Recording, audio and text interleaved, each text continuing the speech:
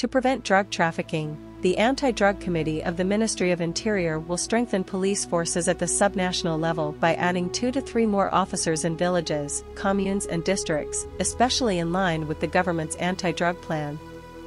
Kao Kondara, chairman of the Anti-Drug Committee, said yesterday at a meeting on the committee's initiative that the drug problem in Cambodia has worsened.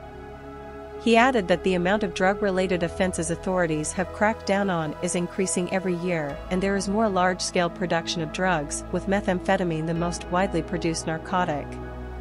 Before 2015, he said, Cambodia was the least drug-affected country in the region, however, with the number of drug offenses increasing and more people being treated for drug abuse, the kingdom has a drug problem similar to other countries.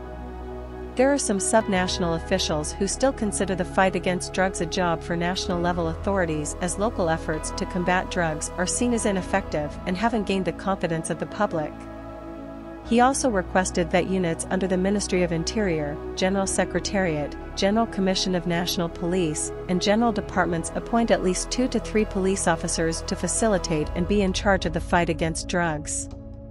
Deputy Secretary General of the National Authority for Combating Drugs Lieutenant General Niku Thea said yesterday that confiscating chemicals used in illegal drug production was vital in stopping the problem. He added that over the years, organized crime has attempted to use Cambodia as a processing hub and transit point for illegal drugs, so provincial authorities in border provinces have to strengthen measures to prevent the trafficking of drugs in and out of the country.